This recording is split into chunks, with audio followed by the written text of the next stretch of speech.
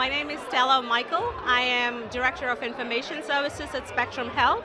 I'm also the chairperson of the West Michigan Asian American Association. Today I'm here at the APACC annual gala here in Detroit and I'm so excited to be with all the AAPI communities both on the east and west side of Michigan. I think one of the biggest things I would like to call to your attention is that we could do a lot more if we work together because the challenges that we face are pretty similar.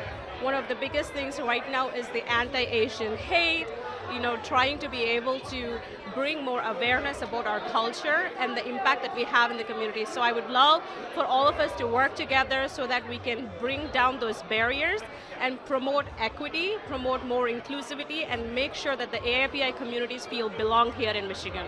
Thank you.